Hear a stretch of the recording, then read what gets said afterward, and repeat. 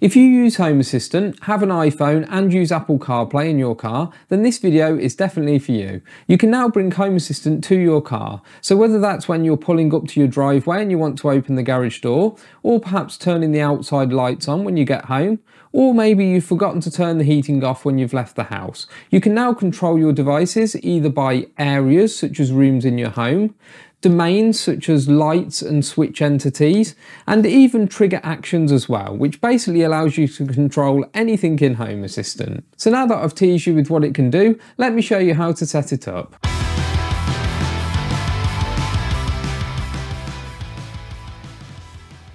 Firstly, you need to make sure that you have the latest version of the Home Assistant app on your phone. It needs to be at least version 2024.1 and you can check this by going to Settings, Companion App and then pressing the About in the top left. The next thing you're going to need to do is ensure that the Home Assistant app is visible from within the car entertainment system. To do this, you go to the settings on your phone, select General and then CarPlay. For the next bit, you need to have your phone connected to your car so that you can include the Home Assistant app within the list of apps available to your car. Once connected, select your car and then add the Home Assistant app to the list. So to use Apple CarPlay, it looks like I have to enable Siri, so I'm going to do that now. Hi, I'm Siri. Choose the voice you'd like me to use. You can change it later in settings. There we go, and we can now see Apple CarPlay on the car, which is great. You should now be good to go and able to access the CarPlay version of Home Assistant from your car. It's worth noting that as of February 2024, this is the first version of this functionality, and so I expect it to get more functionality over the coming months. Having said that, I think it already has pretty much everything you need it to do. We'll come back to the Actions tab in a minute, but firstly I want to show you the Areas tab. This is where it pulls in all of the areas from Home Assistant, and then when you click into the area, it gives you a list of all the devices in that area. Now of course for this to be useful, you need to have been disciplined with your Home Assistant setup and actually have areas defined for each of your devices. Moving over to the Control tab, you can see that instead of areas, it has a list of different entity types known as domains. All of the common ones are available, but not all of them just yet. Once again, you need to click into the relevant domain and then select the device that you want to control.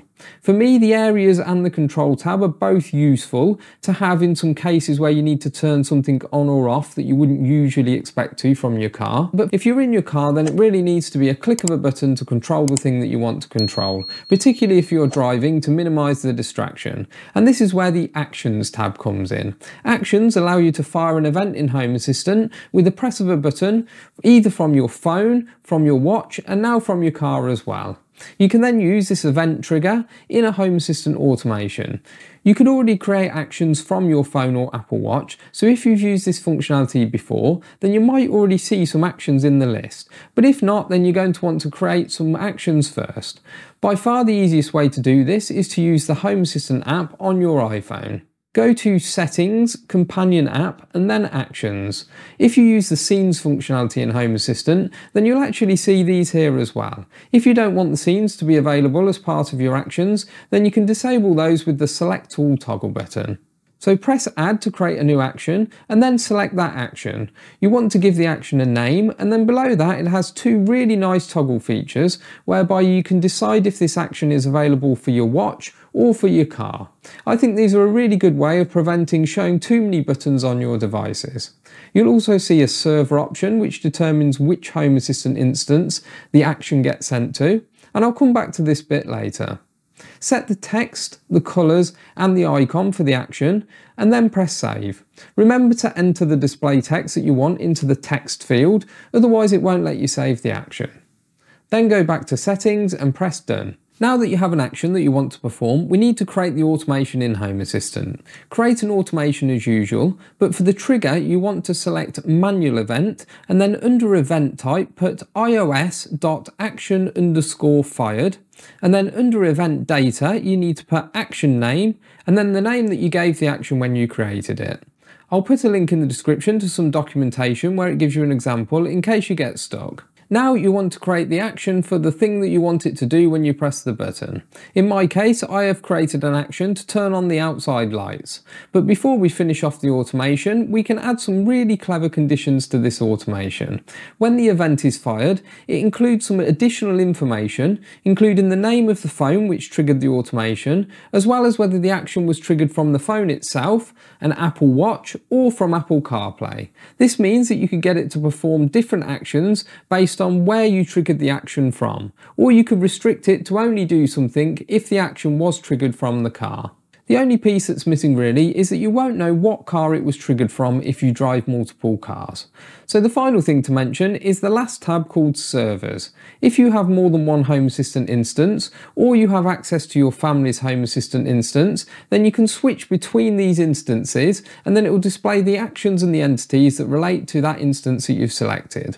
You saw the option earlier that when you create an action on your phone, you have to select which Home Assistant instance the action relates to. I think that a good addition here would be able to see actions whereby you can trigger actions from different Home Assistant instances on the same page and not need to switch between the two. Say if you were travelling from your house to your parents' house, then you could open your garage door one end of the journey, and then there's the other end of the journey without having to go to the server tab and change between the different instances. So that's it really. You could use these actions to toggle devices on and off, or you could even use it to send some default notifications to your partner's phone, maybe such as I'm stuck in traffic or I'll be home shortly. And if they add more useful functionality in the next couple of releases, I'll leave some information in a pinned comment and probably on my Twitter feed as well. And remember to reference the links in the documentation in the description if you get stuck. Well, that's it for today. So please consider subscribing if you haven't already, liking the video if you enjoyed it, liking the video if you didn't enjoy it, just to help me out, and thanks until next time.